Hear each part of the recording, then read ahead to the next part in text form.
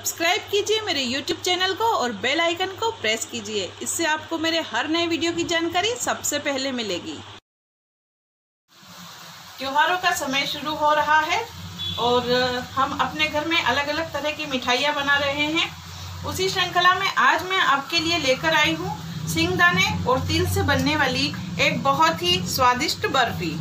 ये एक ऐसी बर्फ़ी है जो हमें बहुत अच्छा टेस्ट भी देगी और इजीली हम अपने घर पे इसको बना सकते हैं। त्योहार के सीज़न में बनाने वाली मिठाइयों में आज मैं सबसे पहले आपके सामने इसी बर्फ़ी को रख रही हूँ। आइए बनाते हैं एक स्वादिष्ट मिठाई।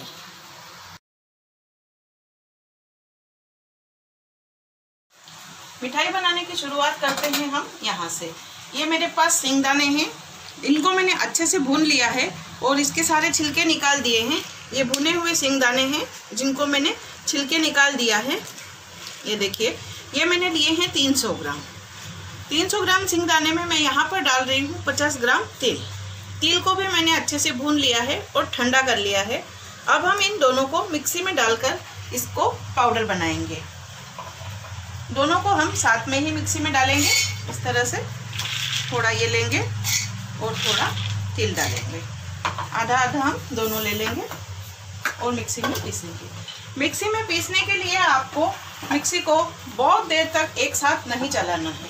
केवल मिक्सी को थोड़ा सा चलाना है, बंद कर देना है। अगर आप एक साथ इसको चलाएँगे तो सिंगदाने और तिल दोनों में से तेल निकल जाएगा और हमारा पाउडर जो हमको चाहिए वैसा नहीं होगा।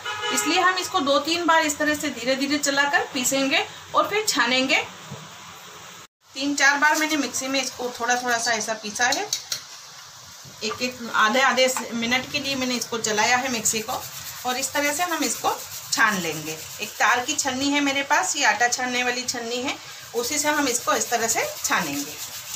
और जो ऊपर हमारा बड़ा बड़ा बूरा बचेगा, इसको वापस मिक्सी में डाल के उसी तरह से एक दो, चार पाँच सेकंड के लिए, चार पाँच सेकंड के लिए मिक्सी चलाकर वापस इसको उसी तरह से पीसेंगे।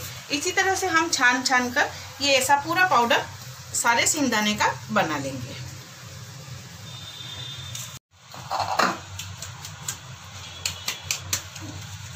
इस तरह से मैंने सारा पूरा ये छान लिया है। सिंगदाने और तिल का ये बुरा है। इसको मैंने मिक्सी को थोड़ा थोड़ा चलाते हुए और थोड़े थोड़े ही सिंगदाने मैंने डाले थे। पूरा मिक्सर का जो जार होता है वो एक साथ नहीं भरना है। आपको जितना भी सिंगदाने की बर्फ़ी बनानी है, उससे थोड़ा सा सिंगदाना ज़्यादा लें, क्योंकि लास्ट में इस तरह का पूरा ऊपर ऊपर बच जाता है। अब इसको अगर हम मिक्सी में चलाएँगे तो उसमें से तेल निकल जाएगा। इसलिए थोड़ा सा ज़्यादा लें। मुझे 250 ग्राम की बनानी थी तो मैंने 300 ग्राम सिंगदाने लिए थे। ये थोड़ा सा इस तरह का मोटा मोटा बोरा बच जाता है। इसको आप किसी भी अपनी सब्ज़ी वगैरह में यूज़ कर सकते हैं। और ये हो गया है हमारा फाइन पाउडर ये देखिए। इसी से हम बनाएँगे आप अपनी बर्फ़ी। ये 250 ग्राम सिंगदाने की हम चिक्की बना रहे हैं बर्फ़ी। उसके लिए मैंने यहाँ पर ली है डेढ़ ग्राम शक्कर। ये डेढ़ ग्राम शक्कर है। अब हम इस शक्कर की चाशनी बनाएँगे। चाशनी बनाने के लिए इसको कढ़ाई में डाल देते हैं। और इसमें हम डालेंगे एक कटोरी के लगभग पानी। ये शक्कर हमारी डूबेगी, बस इतना ही हमको पानी डालना है। और अब हम बनाएँगे इसकी चाशनी।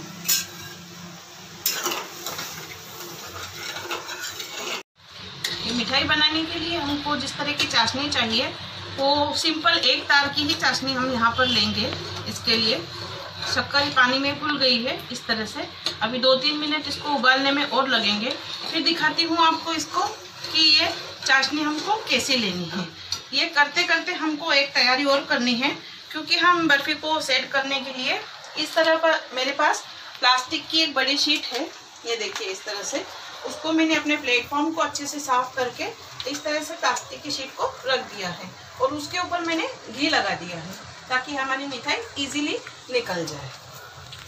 इस शीट के ऊपर मैंने अच्छे से ये लगा दिया है। ये पतले प्लास्टिक की शीट है। इस तरह का पॉलिथीन है। इसी के ऊपर हम अपनी मिठाई को सेट करेंगे। आइए देखते हैं हमारी चाशनी कहाँ तक पहुँची है।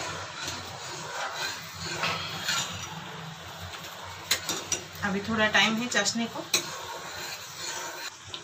तीन चार मिनट चाशनी को इसी तरह से उबलते हुए हो गए हैं। चाशनी हमारी लगभग होने आ रही है। देखिए, ये इस तरह से जब हम चाशनी को नीचे गिराते हैं तो उसकी जो लास्ट ड्रॉप होती है, वो स्लोली इस तरह से आती है और अपने पीछे एक तार बनाते हुए आती है हल्का सा ये देखिए, इस तरह से। ये ये हल्का सा तार जब बनता है चाशनी में तो वही स्टेज होती है जब हम अपने इस पाउडर को इसमें डाल दें। चाशनी देखने का एक और तरीका होता है इस तरह से हम चाशनी को प्लेट में लेंगे, थोड़ा सा उसको ठंडा करेंगे, अपने दोनों हाथों के बीच में रखकर इस तरह से।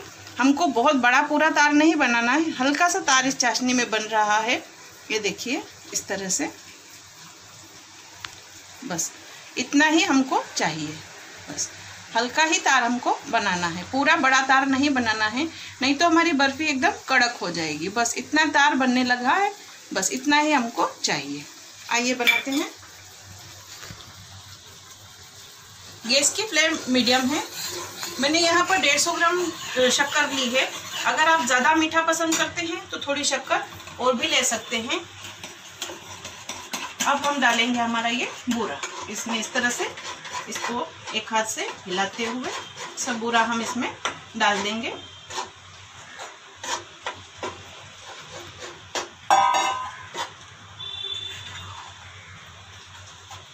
से इसको हिला के एक कर देंगे पूरा। ये आटे के जैसा हो जाएगा अच्छा सा। गैस का फ्लेम मैंने स्लो कर दिया है अभी। इसको अच्छे से हम मिलाएँगे। कोई जल्दी करने की ज़रूरत नहीं है। आराम से इस स्टेप को करें। आराम से इसको अच्छे से मिलाएँ। इस तरह से। गैस का फ्लेम स्लो है। आइए इसमें डाल देते हैं कुछ बूंदे, रोज़ एसेंस की। ये मेरे पास वाइट रोज़ एसेंस है, यही मैं इसमें डाल रही हूँ। आप इसमें इलायची का पाउडर भी डाल सकते हैं, अगर आप ये नहीं पसंद करते तो। लेकिन इसका फ्लेवर, इसकी खुशबू इसमें बहुत अच्छी आती है। केवल तीन चार ड्रॉप में इसमें डाल रही हूँ, वाइट रोज एसेंस के। इससे इसकी खुशबू बहुत अच्छी आती है। इसलिए मैं आज इसी का यूज़ कर रही हूँ। आप चाहिए तो इलायची का पाउडर भी इसमें इस स्टेज पे डाल सकते हैं। आइए हिला लेते हैं।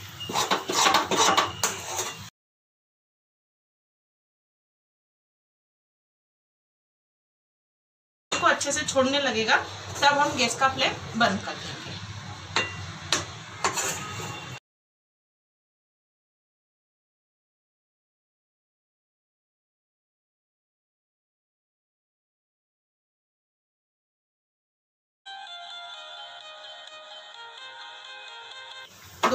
चार मिनट लगभग मुझे इसको स्लो फ्लेम पे पकाते हुए हो गए हैं। और ये देखिए, इस तरह से ये आटे जैसा हो गया है। ये देखिए, अच्छे से कढ़ाई को छोड़ रहा है। इस तरह से। अब हम यहाँ पर गैस के फ्लेम को ऑफ़ कर देंगे। और इसको थोड़ी देर के लिए कढ़ाई में इसी तरह से रहने देंगे और थोड़ा ठंडा होने देंगे। लगभग तीन चार मिनट के लिए हम इसको ठंडा करेंगे। बाद में सेट करेंगे बर्फ़ी को। इसको इसी तरह से हिलाते रहें थोड़ा थोड़ा और जैसे ही थोड़ा सा टाइट लगने लगेगा, वैसे ही हम इसकी बर्फ़ी बना लेंगे। थोड़ी थोड़ी देर में इस तरह से इसको हिलाते रहें, ऊपर नीचे ऊपर नीचे करते रहें। पाँच मिनट तक मैंने इसको इसी तरह से कढ़ाई में रख के इसे हिलाया है, ठंडा किया है। और बस लगभग ये हमारा थोड़ा सा कड़क हो गया है बेटर इसको अब हम डालेंगे इस शीट पर। अभी भी ये बहुत गर्म है, ठंडा नहीं हुआ है।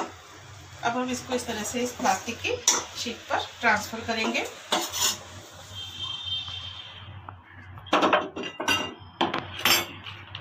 यहाँ पर हम हाफ़ में इसको रखेंगे और आधा प्लास्टिक इसके ऊपर इस तरह से रखेंगे। अभी हम इसको थोड़ा सा प्लास्टिक से इस तरह से कर लेंगे, ताकि इसका जो नेचुरल ऑयल है वो थोड़ा बाहर आ जाएगा और हमारी जो बर्फ़ी है, वो बहुत ही शाइनी बनेगी ऊपर से।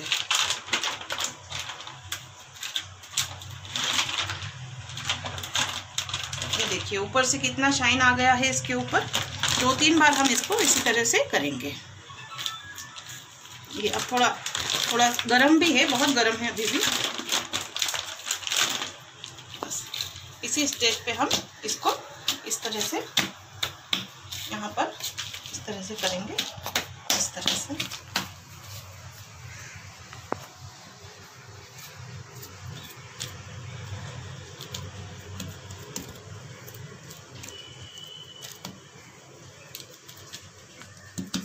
अब हम, हमारी ये जो शीट है, इसके हाफ़ पोर्शन को इसके ऊपर इस तरह से कवर करेंगे। इस तरह से। और हमारा जो बेलन होता है, इसकी सहायता से इसको इस तरह से रोल करना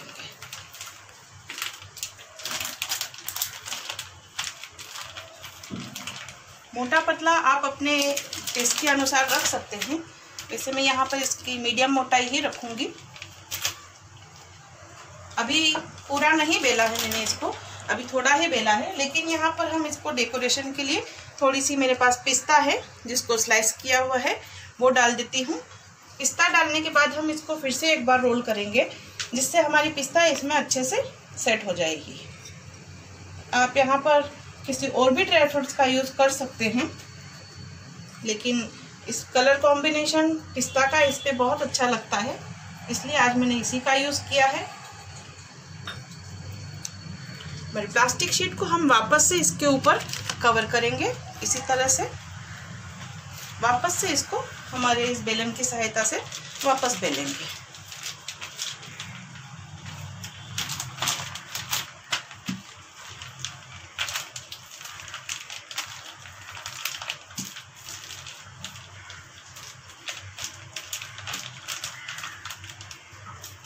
बिना से बनाई हुई ये मिठाई बहुत ही टेस्टी बनती है। इजीली आप अपने घर पे बना सकते हैं और ये मिठाई बहुत हेल्दी है, क्योंकि हमने इसमें न तो किसी घी का यूज़ किया है।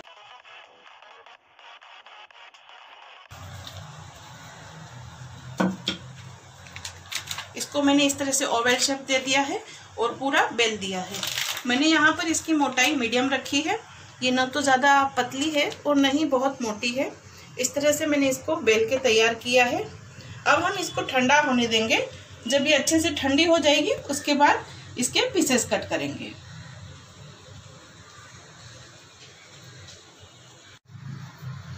पंद्रह मिनट हो गए हैं, हमारी बर्फ़ी ठंडी हो गई है।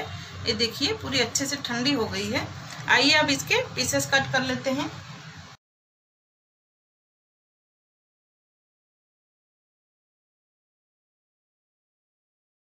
देखिए, कितने इजीली हम लोगों ने केवल आधे घंटे में ही इतनी अच्छी मिठाई बना ली है।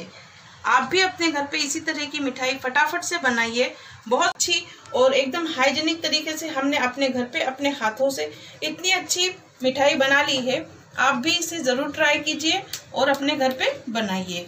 रक्षाबंधन आ रहा है और भी बहुत से त्यौहार आ रहे हैं। सभी त्योहारों में बनाइए इस तरह की बहुत इजी और बहुत सस्ते में अपने घर पे बहुत बढ़िया सी, सुंदर सी मिठाई।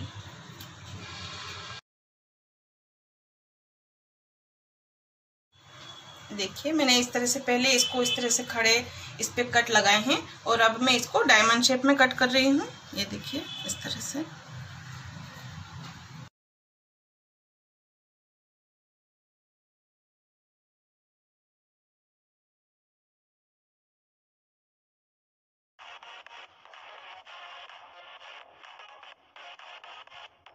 देखिए, हमारी बर्फ़ी पूरी तरह से बहुत अच्छे से सेट हो गई है।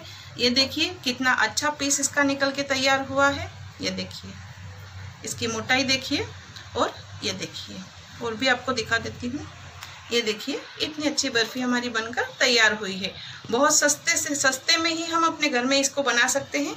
और ये देखिए, ये सॉफ्ट बढ़िया और बहुत अच्छी मिठाई घर पर बना के आप तैयार कर सकते हैं इजीली अपने हाथों से। मेरी रेसिपी को फॉलो कीजिए और बनाइए ऐसी ही स्वादिष्ट सुंदर मिठाई बहुत सस्ते में अपने घर पे आराम से और त्योहारों में एंजॉय कीजिए।